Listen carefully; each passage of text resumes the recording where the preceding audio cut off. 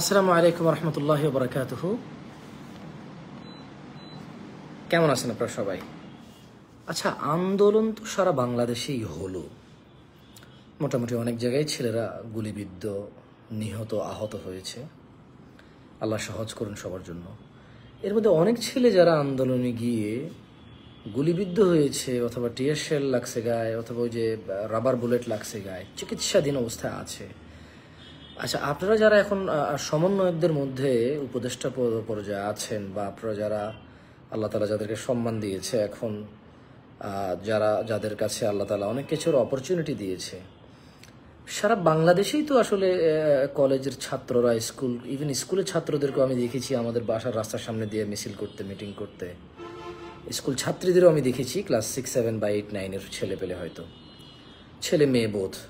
এখন এই যে আন্দোলন করতে গিয়ে যে মানে সাধারণ মানুষ যে আন্দোলনে ছিল না বাট পথযাত্রী ছিল, রিক্সা ড্রাইভার ছিল বিভিন্ন জন যে গুলিবিদ্ধ হয়েছে, অনেকেরই কিন্তু সমর্থন নেই যে চিকিৎসা করবে।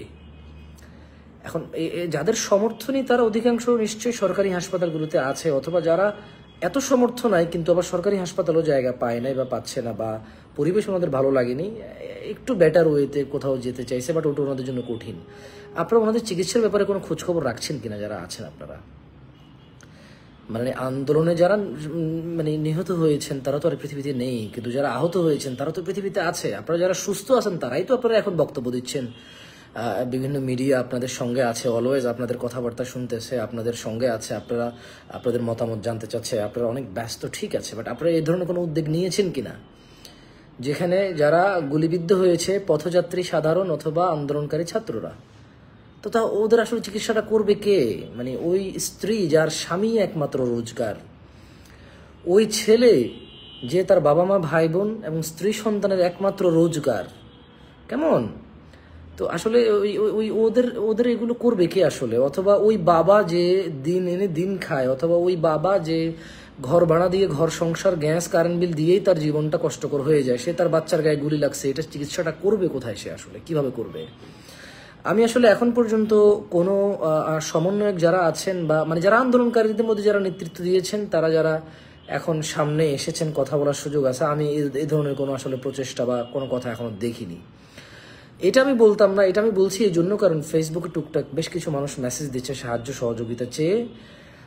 আর সত্য মিথ্যা তো আর জানি না, তো আসলে কিছু বলা যাচ্ছে না বাট যেহেতু এরকম মেসেজ আসতেছে, সত্য হোক আর মিথ্যা হোক বাট এরকম ইট কুড বি হ্যাপেন এরকম হইতে পারে যে অনেক মানুষ গুলিবিদ্ধ হওয়ার পর চিকিৎসা নিয়ে খুব প্রবলেমে আছে। হতে পারে ঢাকার আপনারা কারও কারও খেয়াল রাখছেন, কিন্তু এই যে সারা বাংলাদেশেই তো মানে টুকটাক গুলিবিদ্ধ হয়েছে, মানুষ নিহত হয়েছে, আহত হয়েছে হ্যাঁ? So, আমি আসলে জানি না আমার এই কথাটা আপনাদের পর্যন্ত যে পৌঁছাবে কিনা। এটা আমি জানি না। তবে পৌঁছানো উচিত। বা আপনারা হয়তো কোনো স্টেপ নিয়েছেনও হয়তো বাট আমি জানি না হয়তো আমার কাছে নাই হয়তো অন্যরা জানে। কেউ জেনে থাকলে আমাকে একটু লিঙ্কটিং দিবেন তো?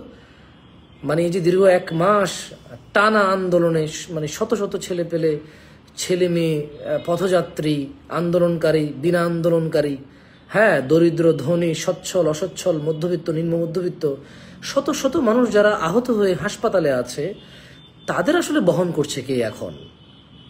মানে আপনারা যদি বলেন যে এটা নতুন প্রজন্মের যুদ্ধ এবং নতুন প্রজন্মরাই জিতেছে, তাহলে নতুন প্রজন্মের যুদ্ধদের যারা আহত আছে, তাদের খোঁজ খবর তো কোথাও দেখছি না। কোনো একটা টেলিভিশন চ্যানেলে দেখছি না এই বিষয়গুলো আমি এখনও। আমি আসলে এত খবর দেখা মানুষ না, তবে ইদানিং প্রায় খবর দেখি, প্রায় ইউটিউবে যে দেখি খবর কে কি বলে। আমি দেখতেছি টুকটাক অনেক বিষয়ে কথা হচ্ছে, অনেক বিষয় শুধু আশা, ভরসা নিয়ে কথা হচ্ছে অনেক, মাশাআল্লাহ। যাক, আল্লাহ সহজ করুন। আমার কথা কেউ বাজেভাবে নেবেন না, কেউ নেগেটিভভাবে নেবেন না। আমার কাছে মনে হচ্ছে আমি কোনো তথ্য পাইনি যারা আহত, যারা হাসপাতালে ভর্তি আছে, যারা সরকারি হাসপাতাল অথবা বেসরকারি হাসপাতালে মানে যাদের খুব গুরুতর চিকিৎসার দরকার ইমার্জেন্সি চিকিৎসার দরকার, যারা দিন দিন আরও অবনতি হচ্ছে যাদের চিকিৎসার অভাবে আমরা এই ধরনের কোনো তথ্য পাইনি যে এদের জন্য কোনো ব্যবস্থা করেছে রাষ্ট্র এখন পর্যন্ত। আপনারা কি কেউ জানেন কি ব্যবস্থা হয়েছে ওনাদের জন্য? খুলনা, কুমিল্লা, বরিশাল, চিটগং হ্যাঁ?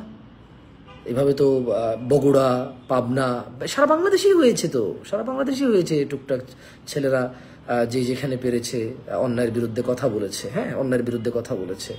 তো অন্যায়ের বিরুদ্ধে কথা বলতে গিয়ে ওরা ওরা ওদের ওদের ওদের ওরা জখম হয়েছে, ওরা জখম হয়েছে, ওরা নির্যাতিত হয়েছে, ওরা ওদের জীবন বিপণনের পথে।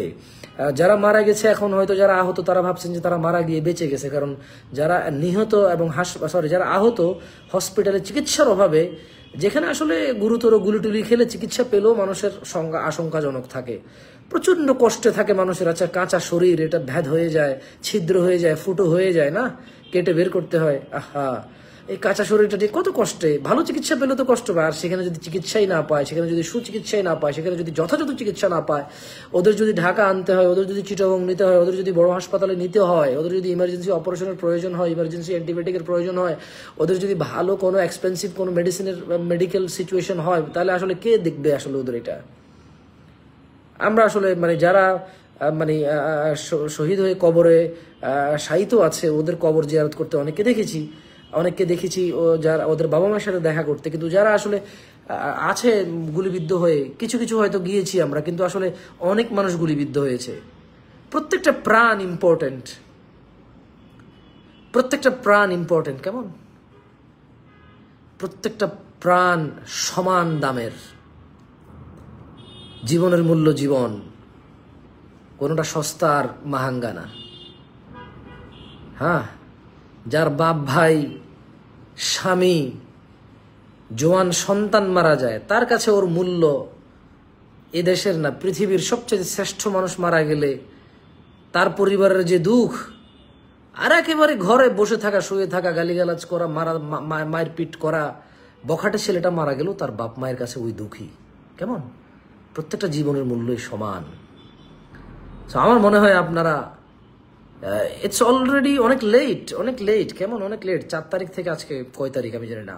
অনেক লেট অনেক লেট আমার মনে হয় এখন মানে চিরুনি অভিযান দিয়ে সারা বাংলাদেশে কারা ইনসিডেন্টের সময় গুলিবিদ্ধ হয়েছে, ওটা ফাইন্ড আউট করা উচিত। কারণ প্রত্যেকেই হাসপাতালে বা হাসপাতাল থেকে রিলিজ পেয়েছে।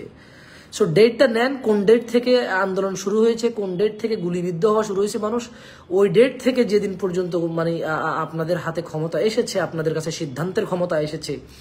আপনারা নেন, কেমন? আপনারা খোঁজ খবর নেন ওদের ওদের খোঁজ খবর নেন। এ দায় কীভাবে দিবেন আল্লাহর কাছে? মানে যদি খোঁজ খবর না নেন, দায় তো নিতে হবে ভাই। প্রত্যেকটা অ্যাকশনের একটা রিয়াকশন আছে, প্রত্যেকটা অ্যাকশনের একটা রেসপন্সিবিলিটি আছে। আমার হাজার ভালো কাজ কবুল হওয়া লাগবে, কিন্তু আমার একটা খারাপ কাজ কবুল হওয়া লাগবে না। আস্তাগফিরুল্লাহ আযীম আল্লাহ আমার সমস্ত গুনাহ ক্ষমা করো ইয়া আল্লাহ। আমি কি বুঝাতে পেরেছি ভাই? সো খোঁজ খবর নেন খোঁজ খবর নেন।